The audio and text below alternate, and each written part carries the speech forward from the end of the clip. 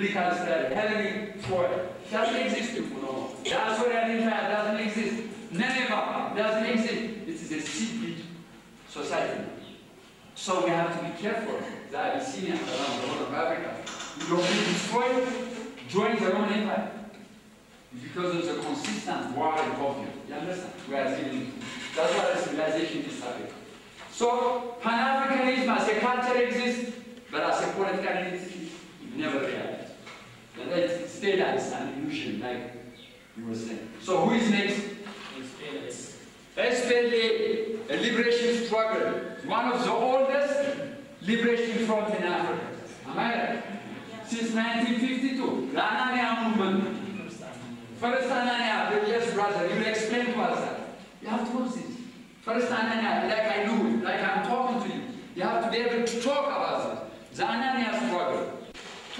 Struggle, the Anyanya. And then what happened? It was transformed to Sudan is one of the ancient, one of the oldest, the earliest democratic movement. There was a communist party in Sudan. In 1950s, there was 15 political parties in Eritrea also.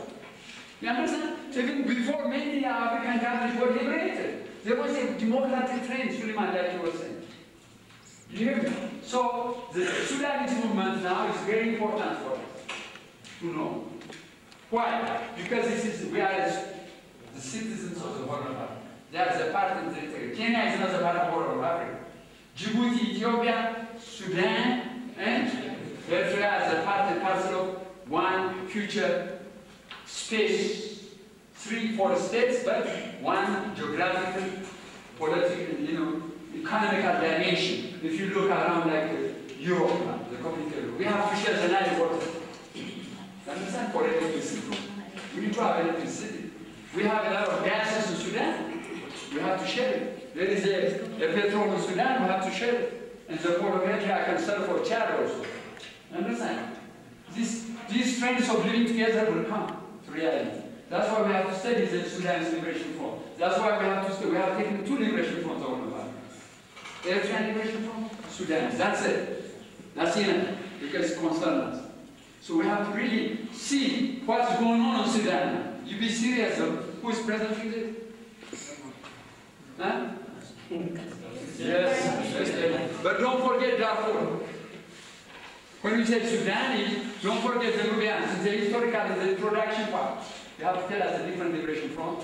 When you present liberation front, explain where it is situated historically, geographical location, the mineral resources of Sudan, Eritrea, the historical, this is the doorway to Africa, or to Middle East, Eritrea.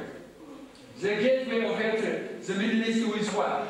Eritrea, the gateway of Europe, Eritrea to Asia, it's Eritrea. So you have to take that consideration in the geographical dimension, the ethnic distribution.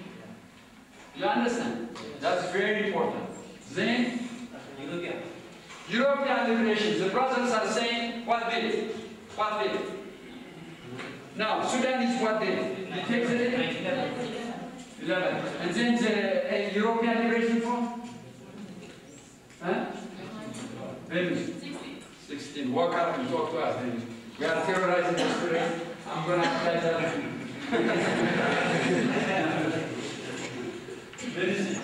okay. Now we're, we're talking about the decline of separatist movement, they call it. They say the independence movement. Like Chechnya, it was under the Tsarist Russia, it made to be independent. You understand? Chechnya. But Putin is not giving it. He, Putin's power came through Chechnya. He said, I will mad Chechnya. Like Mengistu used to say earlier. He explains the same thing. If you look, I want you to look this trend. It's very important. Sociologically. Orthodox states, they don't make no concession. If you look, Yugoslavia, they don't make no concession to uh, Montenegro now, before too. That's it. That is the state Yugoslavia fighting. No. No.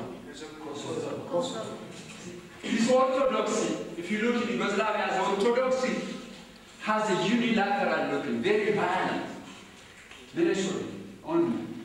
And he attacks. Look Putin, how he's attacking Chechnya. You see how much he kills people? He bombards people. And he wants to force them to be with Russia. By force, because they are Muslims. They have another trait of because they have the same thing. We have the same confrontation here in the region because of the orthodoxies are orthodox are hard diet. They don't let you go easy.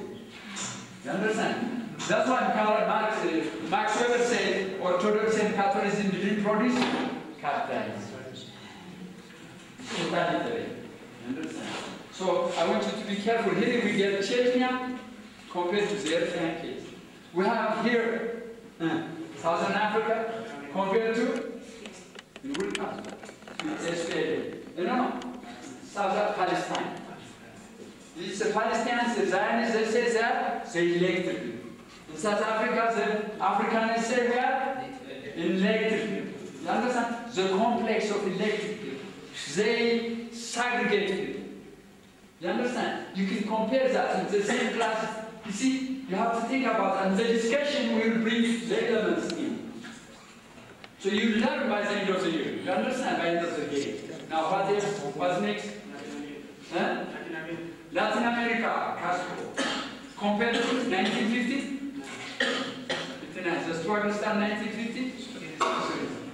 Now, Castro is the first revolution against the gringos. You understand? We can see the class opposition of these groups. How Cuba became independent. The insurgency of uh, September 53.